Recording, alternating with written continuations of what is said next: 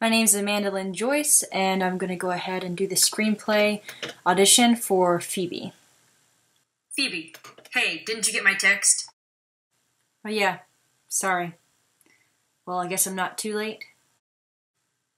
It's whatever. New client. What are they like? Single mother working three jobs? No. He's another one with slipping grades.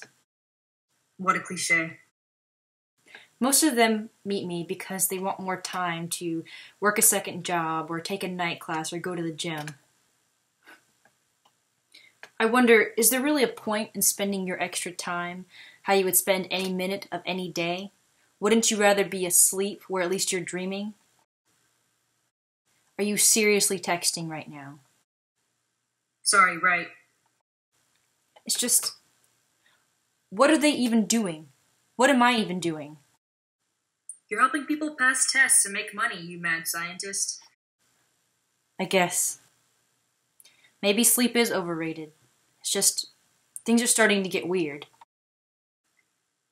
This is normal, Phoebes. Even a genius such as yourself is gonna feel the what am I doing with my life weirdness. You're a millennial fuck up like the rest of us. I read an article the other day that statistically college students are more depressed than ever. You were reading something?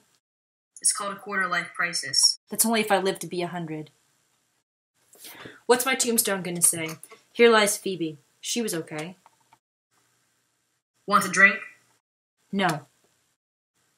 Here lies Phoebe. She said no a lot. No, I don't.